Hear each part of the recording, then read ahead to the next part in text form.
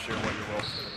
Uh, yeah, most definitely. I mean, we've been just working hard every day in practice. Uh, just trying to do the little thing coach wants me to do uh, for our team to be successful. Uh, probably, I mean, right now I'm playing at the four spot, so just trying to be as versatile as I can, get rebounds, uh, run the offense, and do what coach wants.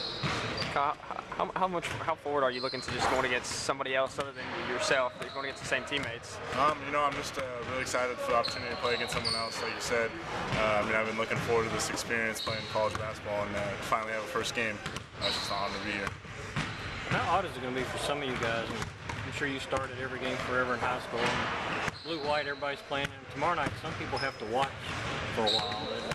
They're on the You know, it's, How weird it's, is that going to it's, uh, it's gonna be a little different. I mean, uh, we've all been the stars on our high school teams, like you said, but uh, I mean, we're all just looking for the opportunity to play, and uh, whatever our role is, we wanna, we all wanna play it so that we can win. I think you can learn something watching for a while. And most definitely, I mean, we have such a talented group. We have so many weapons. That's uh, that's what that shows how great we are as a team. You can have great players coming off the bench who, who are good enough to start. Do you think there's anything Cal's been talking about that you can, just by watching it for a few minutes a game, you say, oh yeah, now I, I see. I mean, he's just so lively. He's, uh, he's such a great coach because he tells you what you need to work on, what you need to do better, and uh, just watching the guy, I mean, he's, he's, he's such a great coach.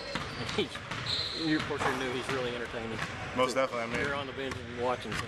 yeah, most definitely. I mean, he's he's, uh, he's all in your face, but it's for it's for your uh, good. He's he's doing it because he wants you to become better and he cares about you. Cal Cal said that this he doesn't know what he's going to do yet, offensively or defensively, and you guys have experimented with a lot of stuff. How, how difficult is it to take it all in, to soak it all in?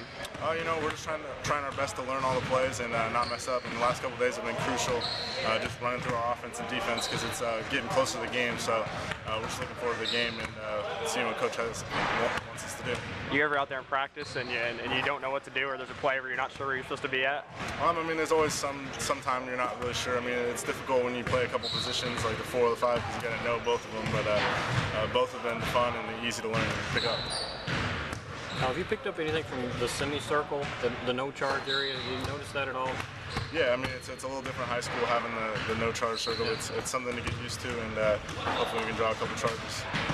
They warned you about this media crush, but looking around today after games, what do you make of all this? You know, it's it's, it's uh, fantastic. I mean, just uh, having so many people care about our team and uh, what we're doing. So uh, it's, it's an honor to have all you guys supporting us. You say that now, but Yeah. you think you get tired of it all? Uh, you know, I don't really mind it at all. I mean, I'm just trying to enjoy the experience and uh, enjoying every part of it. What about the